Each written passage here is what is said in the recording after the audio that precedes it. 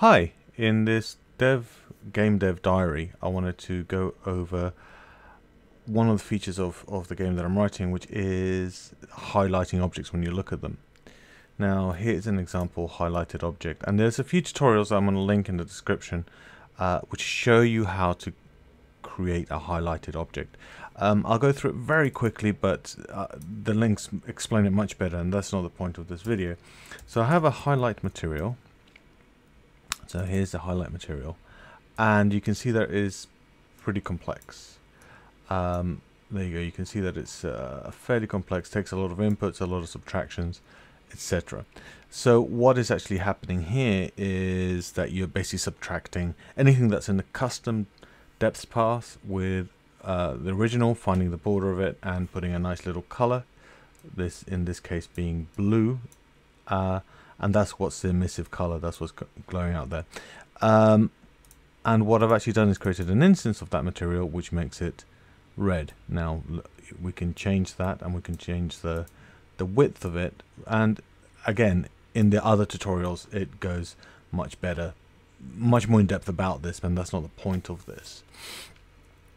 So um, I have that you know we can change the the width of the line as you can see. So let's say this is going to be 2 in width there you go.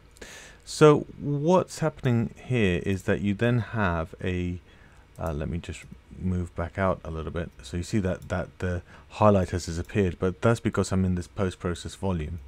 So if once I move into this post-process volume and I select this object, what I can do is that if I select this post-process volume, you can see that I have uh, post-process materials and I say I have a post-process material. So anything that that has a custom um, depth pass on it um, will have that. So for example, this object, if we have a look at the render, is got a render custom depth pass, right? So if we take that off, um, that material will not be applied to this anymore. Brilliant. So what I've also done is when I look at an object, and you see here my, my trace, when it hits it, it applies that.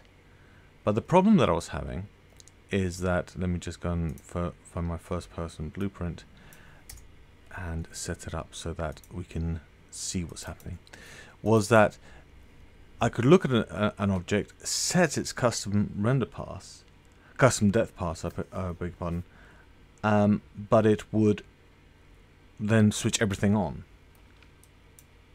So let's have a look at that. So I have an event graph here and there's there's some improvements that could be done in this. Oops, let's go to the um, let's show the event graph. Uh, docket. Let's have a look. So there's a lot of stuff happening in my first person player. Let's ignore a lot of this stuff. But I've got an event tick. Uh, it does some stuff about if I'm holding an object, etc. That has nothing to do with it.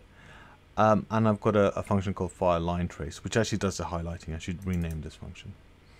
And what this function does is gets a line trace from a camera, which again is another function which basically gets a line trace from a camera. Lots of tutorials about getting a line trace from the camera. Essentially gets uh, your world location, so that's where you're looking at from, and you get your forward vector, uh, adds them up, and pl plus a distance, and, and returns that out. Right, so that's your line trace. Um, well, that's the direction you're looking in and then you can have a hit distance as well and it should add that in. Is that adding in? Yes it's adding that in into there. Right and then it does the line trace. So you can see this line trace by a debug for one frame or for the duration or whatever. So when, when I run this um, you can see my little line trace is like running around there. Cool. So then what I'm you normally do is then go well whatever object we have let's see if we have if we've hit an object what we should do is send set custom render path so we then get this object and say um, set custom render depth uh, to true um, if we've hit something. And if we now run that what will happen is that every time we hit something, we actually switch it on, right? So we're switching it on all the time. So now everything is glowing. which is not exactly what we want. We want to like things to switch on and switch on like. So what I did was actually save an instance of the whatever object we've hit. So I've created a component called a highlighted object. Um, and what we do is we say, have we hit something? If we haven't hit something, or let's say if we have hit something, we go and check whether we have a highlighted object. If we do have a highlighted object that we're storing, that a, a object that we saw before, we take off its render path and then set it to null.